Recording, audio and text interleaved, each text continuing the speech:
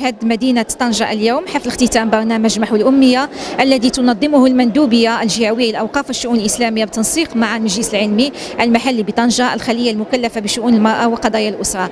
هذا الحفل الذي ستتوج فيه مجموعة من آه، من مستفيدات برنامج محو الأمية وأيضا ستتوج فيه مجموعة من المؤطرات. وبطبيعة الحال برنامج محو الأمية انخرطت فيه الخلية المكلفة بشؤون المرأة وقضايا الأسرة التابعة للمجلس العلمي المحلي بطنجة منذ سنوات إيمانا منها بضرورة تعليم المرأة آه، باعتباره مطلبا شرعيا حثت عليه شريعتنا السمحاء ومطلبا دوليا أيضا نصت عليه مجموعة من المواثيق والاتفاقيات الدولية آه، التي تؤكد آه، ضرورة تعليم المرأة لما له من انعكاسات إيجابية على التنمية المجتمعية بشكل عام.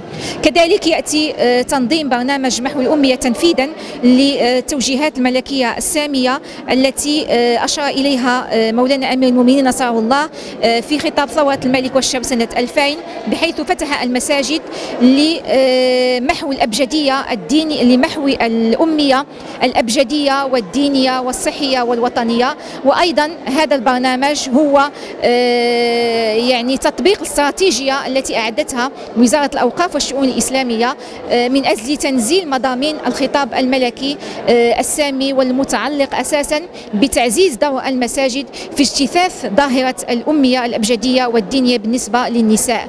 وبطبيعة الحال مما يثلج الصدر وبطبيعة الحال مما يثلج الصدر هو ذلك الإقبال المتزايد من طرف نساء المدينة آه، سواء يعني بالنسبة للفتيات أو بالنسبة للنساء من آه، مختلف الأعمار وسواء في المجال القروي أو في المجال الحضري.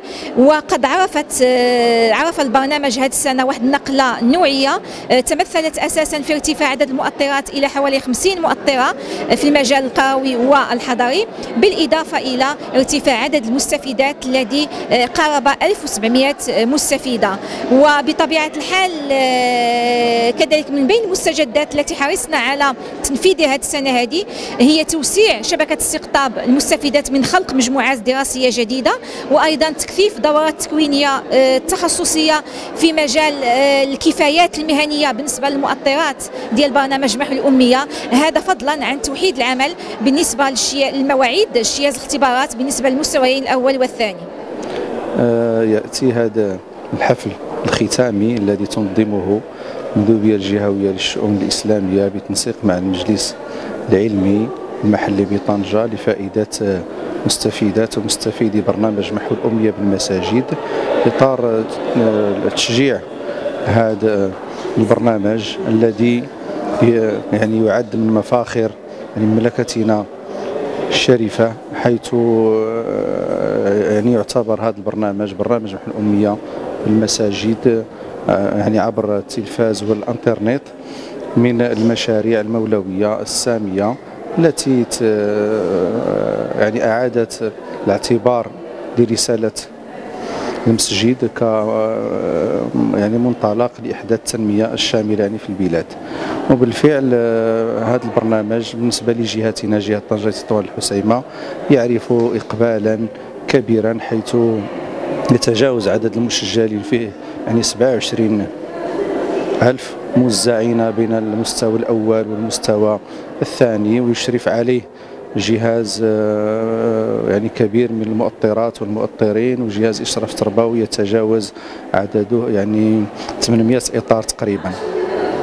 و يعني كسائر السنوات استطعنا هذه السنة أن نحقق نتائج متميزة على مستوى يعني نسب النجاح وأن نحقق مقاصد السامية لهذا البرنامج التي الذي يعني يهدف إلى تنمية يعني قدرات المستفيدين المستفيدات وإخراجهم من ظلمات الأمية إلى نور العلم والمعرفة والتعلم الذاتي مدى يعني مدى من الحياة والاندماج في الحياة العامة.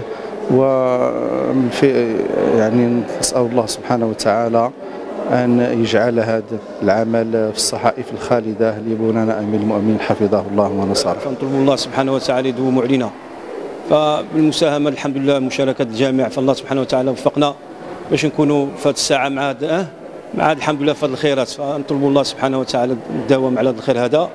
وثم بالنسبة أنا العبد ضعيف أنا اسمي عرف السوسي. فالتحقت بهذا الحمد لله هذا الخير هذا هذه تقريبا واحد ثلاث شهور. والحمد لله ولله الحمد الخير ماشي. نطلبوا الله سبحانه وتعالى التوفيق للجميع. فاحنا ما نعرفوا ما نقولوا ولكن نطلبوا الله سبحانه وتعالى التوفيق. نطلبوا الله سبحانه وتعالى التوفيق والمزيد. وهذا الشيء ما